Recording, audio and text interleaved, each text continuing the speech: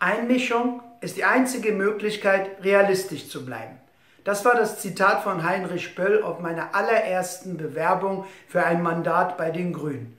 Ich habe damals direkt gewonnen und bin Bildungspolitiker geworden. Und dieses Zitat begleitet mich zeitlebens schon.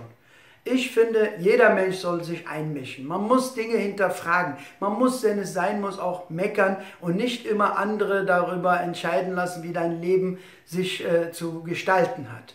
Und das sage ich auch bei jeder Schulveranstaltung den Schülerinnen und Schülern. Mischt euch ein. Und ich verwende jedes Mal auch dieses Zitat. Einmischung ist die einzige Möglichkeit, realistisch zu bleiben. Das ist ein zeitloses Zitat, was in jeder Demokratie eine Notwendigkeit für jeden Bürger und jede Bürgerin ist.